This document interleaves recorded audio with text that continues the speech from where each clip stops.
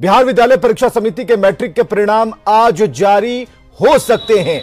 Bihar board दसवीं का result board की आधिकारिक वेबसाइट पर आज आने वाला है, जिससे छात्र ऑनलाइन देख पाएँगे और दोपहर के बाद कभी भी नतीजों का ऐलान हो सकता है। तो कैसे हैं आप लोग?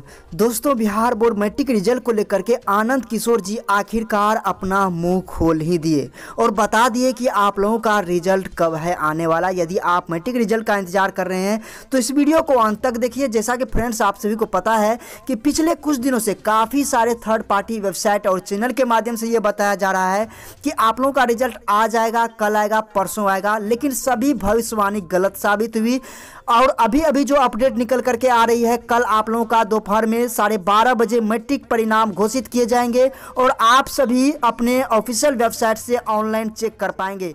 तो दोस्तों, हमारे साथ बने रहिए अंत तक वो जो लाल कलर का सब्सक्राइब बटन है, उस पर आप मोमबत्ती फेंक कर मारिए या फूल फेंक कर मारिए। मुझे नहीं मालूम, बस क्लिक हो जाना चाहिए। तो चलिए दोस्तों वीडियो को शुरू कर दोस्तों फाइनली बिहार बोर्ड अपने ऑफिशियल ट्विटर हैंडल पर ट्वीट करके ये जानकारी दे दी है कि कल दिनांक छब्बीस पाँच दो हज़ार बीस दोपहर साढ़े बारह बजे मैट्रिक के परिणाम घोषित किए जाएँगे। दोस्तों, यहाँ पर दो वेबसाइट दिया गया है। इस वेबसाइट का लिंक हम आपको डिस्क्रिप्शन में दे देंगे।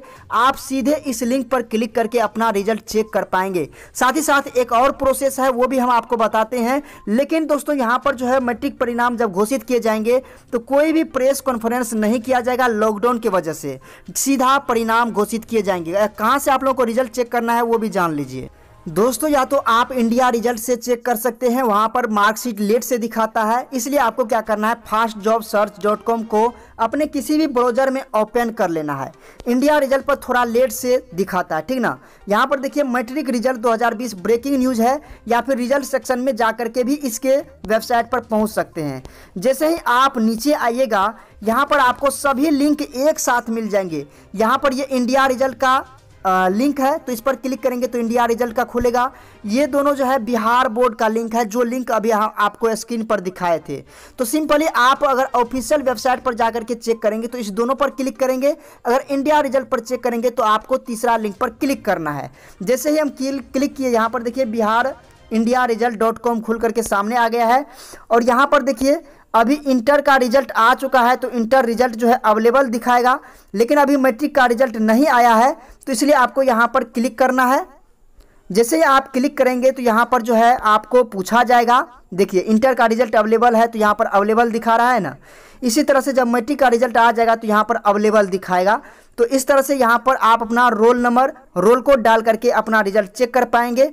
साथ ही साथ आप अपना नेम डाल करके भी चेक कर पाएँगे। तो हमारे साथ बने रहने के लिए वीडियो को लाइक ज़रूर कर दीजिएगा। नए साथी या नए मेहमान हैं तो वो जो रेड कलर का सब्सक्राइब बटन है, आपको बता ही दिए, फूल या मोमबत्ती फेंक कर मारिए, मुझे नहीं पता, बस क्लिक हो जाना चाहिए। और इस वीडियो को शेयर कर दीजिए। धन्यवाद।